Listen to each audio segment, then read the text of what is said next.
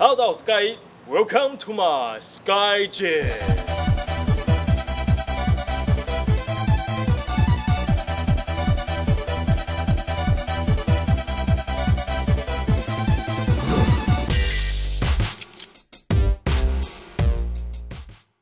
今天要跟大家分享如何好好的掌握好三角肌后束在训练时的感受度，以及训练动作上的一些细节。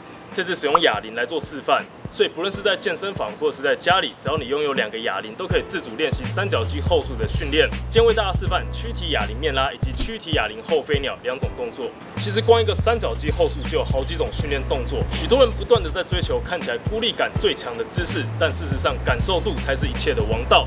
所以选择一个对你来说感受度最好的动作才是正确的。首先，躯体哑铃后飞鸟，在开始前，我们先做一个类似传统硬举的准备动作。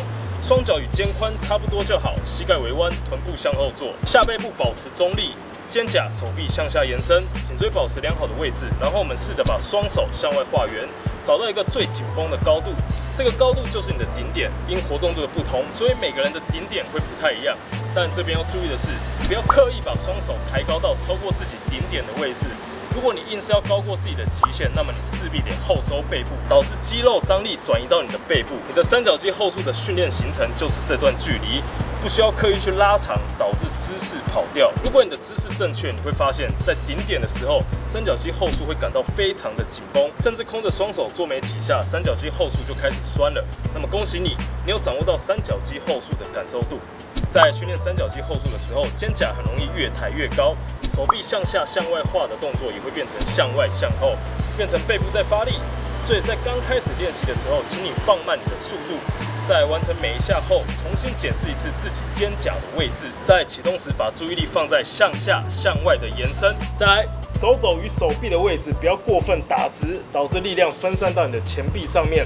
找到一个最舒服的角度即可。手腕的位置，全眼朝内或朝外。启动时是否要同时旋转手腕？是否有一个明确的角度？这其实都没有一定，你可以试着去尝试哪一个角度在你训练起来对你的三角肌后束最有感。